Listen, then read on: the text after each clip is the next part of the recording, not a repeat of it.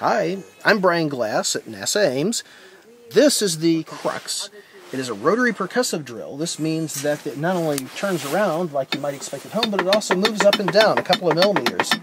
And the hammering motion plus the rotation means it's more efficient in breaking its way through ice and through hard materials.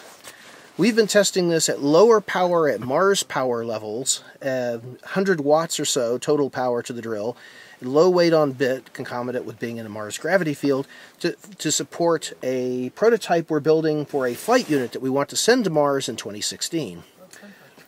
This has a, a hammer or percussive unit. It has actually space-rated motors, although we don't actually need space-rated for this application.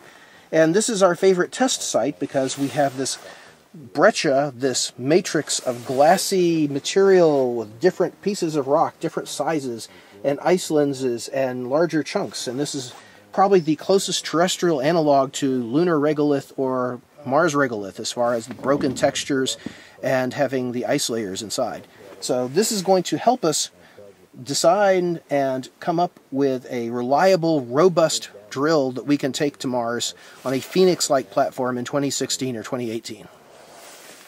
If you look at the two lasers down here, these are laser vibrometers.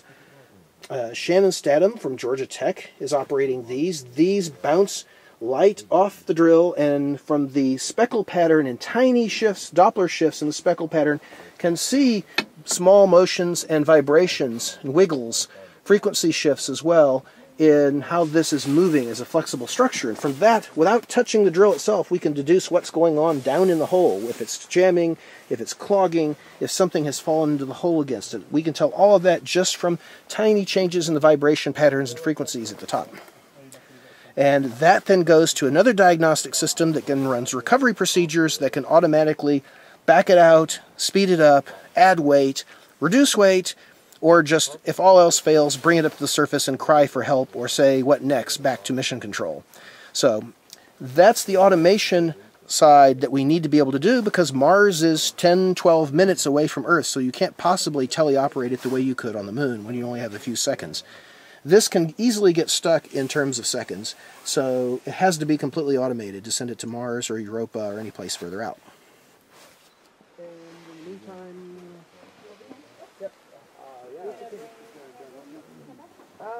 Uh, hello, I'm Mateusz Szczesiak from Honeybee Robotics. I'm here supporting uh, the drill team. Uh, the company I work for designed and built the, the Crux drill that we're using here uh, this field season. My work ultimately usually comes down to actually taking the big pipe wrench and unjamming the, the drill strings if there is a problem. Uh, we're testing different drill strings right here. We have uh, one and a half inch OD drill string that we've been using so far on the Crux. And right now the one mounted on the drill itself is a one inch OD drill string. Uh, this one is made out of aluminum. The ones that we tested uh, earlier uh, a few days ago are made of stainless steel. So we're trying to uh, basically test different drill string, different material, different geometries, and come up with, uh, with the best solution for the for the problem. Hi, my name is Shannon Statham. I'm a PhD candidate at Georgia Tech, and I'm here supporting the Crux Drill team. Uh, just a little bit about what I'm doing here. I have my laser Doppler vibrometers. Uh, they are sensor devices that use laser beams essentially to um, measure the vibrations of a moving object, in our case our uh, moving drill strings, and they transfer all their information to my nice SIGLAB data acquisition device, which I then can um, look at and analyze the vibrations of the drill uh, as it's operating, and then from those I can tell whether or not we're in a nominal drilling mode or if by chance we're in a fault mode. If we're in a fault mode, what type of fault mode, and from there we send the diagnostics over to the executive to be analyzed and dealt with. Hi, I'm Sarah Thompson from NASA Ames.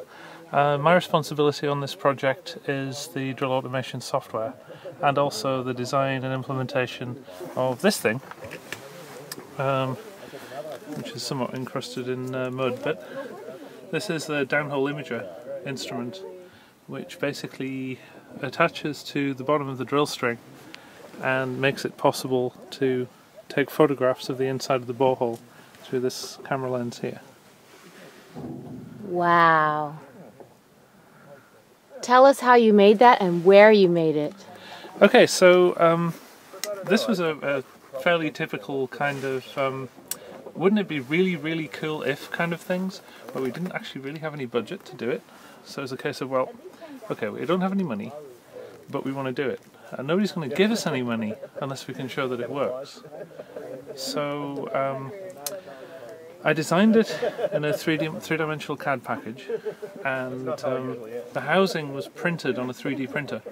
So this is actually ABS plastic, same thing that children's toys are made from, or telephones, or the case on most people's mobile phones and so on. And um, this was literally printed in 3D, and uh, inside it there are some electronics that I designed in this part at the top, and the camera here, um, and it attaches to uh, a bed at the bottom, and this cable at the top connects up to the wiring through the drill string and through a slip ring at the top and then to the computer system that, that captures the images. And a couple of days ago we got the first really good downhole images which hopefully are going to go forward to uh, for real publication fairly soon. Great, thank you. You're brilliant. We love you.